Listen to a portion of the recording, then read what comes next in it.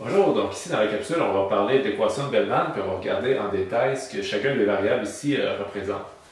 Euh, dans la dernière capsule, on a vu comment on est arrivé avec cette équation-là. C'était quand on fait de la programmation dynamique euh, avec pas de limite en temps, quand on a un horizon de temps infini, on peut trouver une solution de commande optimale et on, a vu que cette solution-là, on peut l'extraire de cette équation ou ce système d'équations-là qu'on appelle euh, l'équation de Bellman.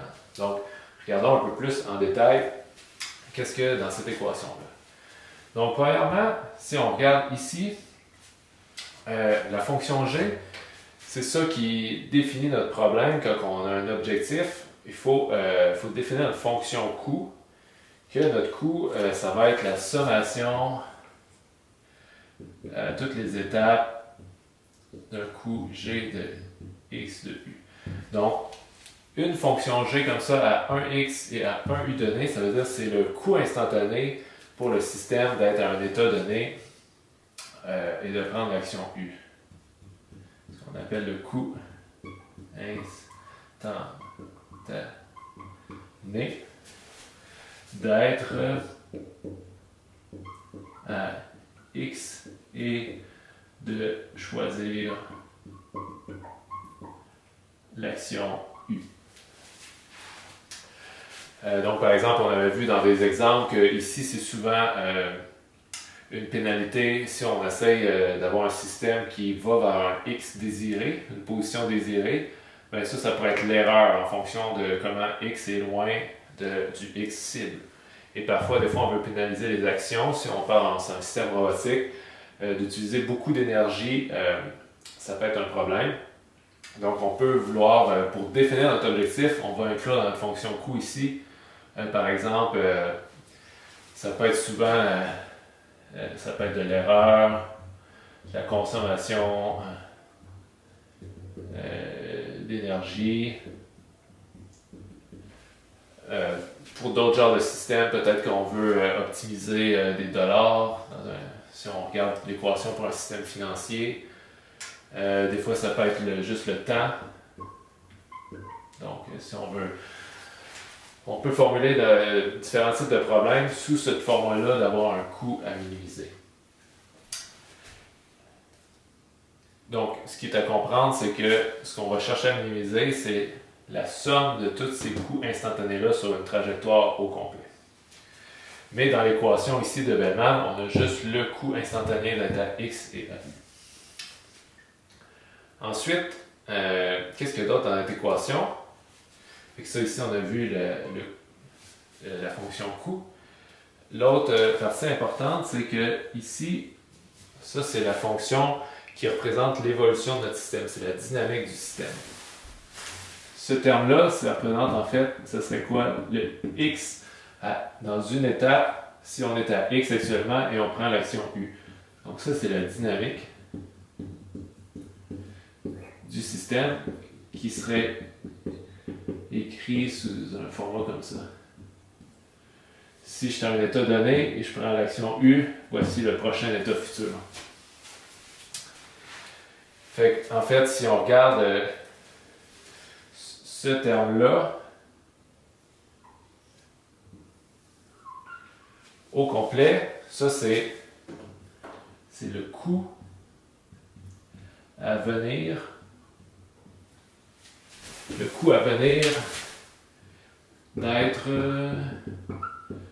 sur x de k plus 1. Et ici, on a un facteur d'escompte qu'on a parlé la dernière fois, qu'on a besoin euh, parfois d'introduire pour, pour formuler le problème sur un horizon de temps infini.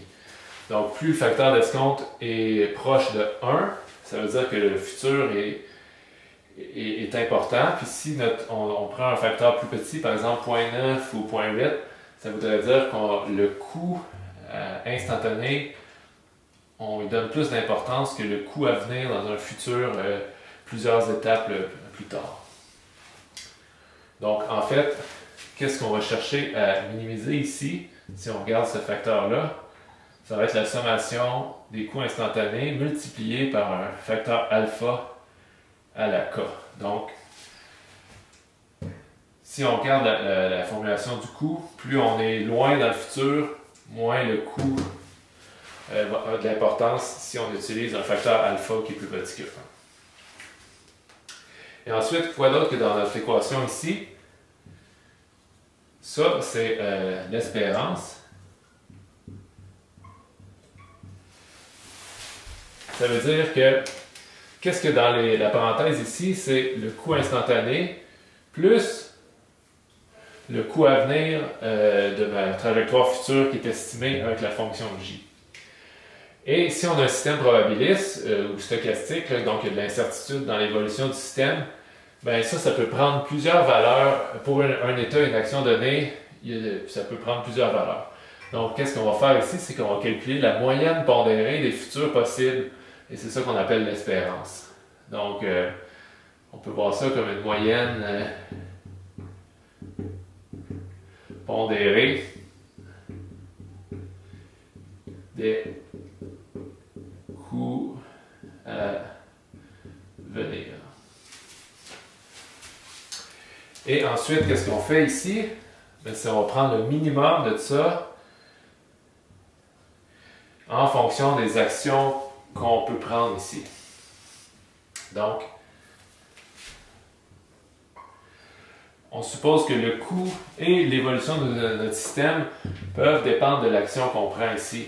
Donc, cette équation-là, ce qu'on cherche à, à trouver, c'est on va essayer de trouver l'action qui minimise la moyenne pondérée du coût instantané plus du coût futur que mon système va avoir.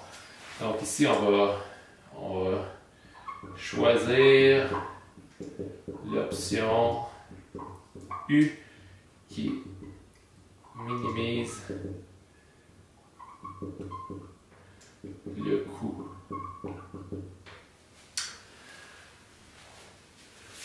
Donc, ça, ça représente euh, le, côté droit de mon équation. Et maintenant, qu'est-ce qu'on voit à gauche ici? Qu'est-ce que, euh, à quoi ça sert de, faire tout ça? Ben, c'est que ici, on retrouve la notion euh,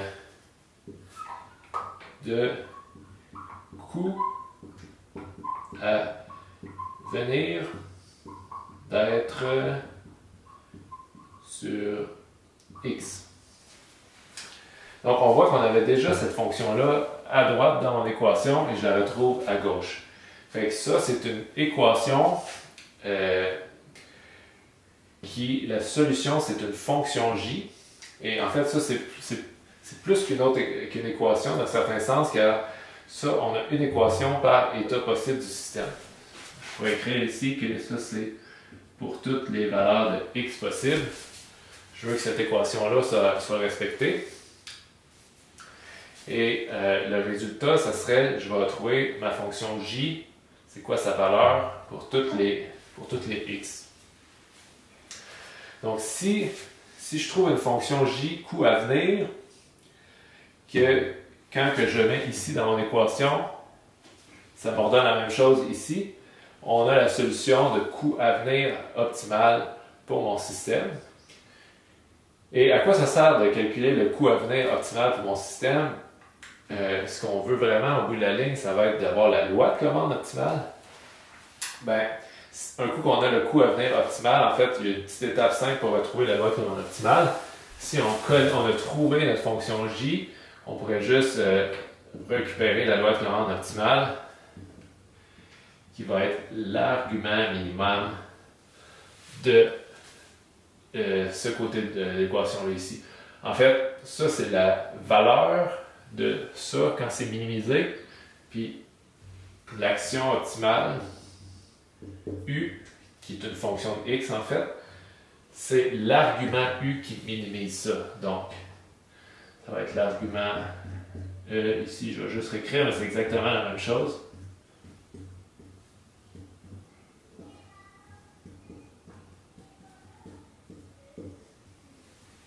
Comme ça.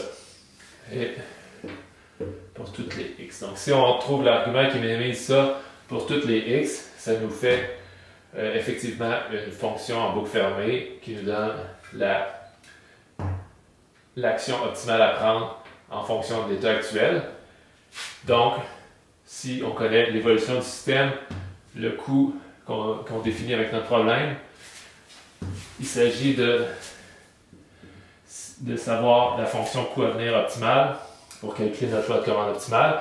Et comment on la trouve, cette fonction-là? C'est la solution de cette équation-là. Donc, on pourrait essayer de la résoudre directement. C'est une équation non linéaire. Typiquement, la méthode euh, qui est utilisée pour la résoudre, c'est on va partir avec euh, une on va faire un algorithme itératif. On va partir avec une valeur initiale. On va faire une itération, on va calculer c'est quoi que ça nous donne de ce côté-là. On va remettre ce qu'on a trouvé ici dans notre équation. Ensuite, on va recalculer ce que ça nous donne ici. On va faire des itérations et euh, ces itérations-là vont converger jusqu'à temps que la fonction j ne change plus. Et quand on sait que la fonction j ne change plus, on sait qu'on a trouvé notre, fonction coût à venir optimale. Et ensuite, on peut calculer notre loi de commande optimale comme ça. Comment interpréter c'est quoi le coût à venir optimal?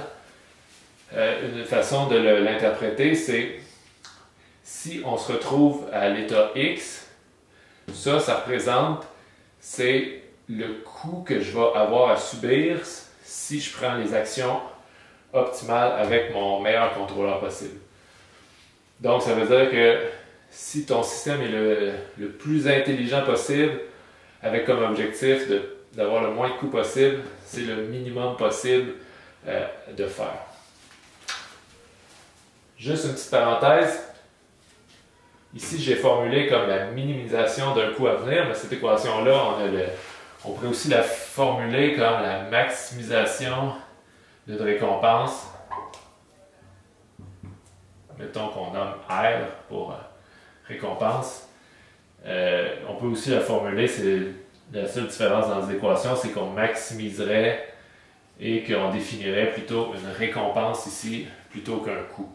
Euh, les, deux, approches sont, peuvent être utilisées. Typiquement, euh, en apprentissage machine, on préférait utiliser, on va maximiser une récompense, tandis que quand on est plus dans le domaine de la commande optimale, c'est plus standard de minimiser un coût à venir euh, parce que souvent notre coût c'est une certaine forme d'erreur comme ça. Tandis qu'en apprentissage machine, souvent ils font une IA pour un jeu vidéo par exemple, donc on minimise le, pointage dans un jeu, euh, on maximise le pointage dans un jeu, c'est ça un peu l'objectif de, la loi de commande.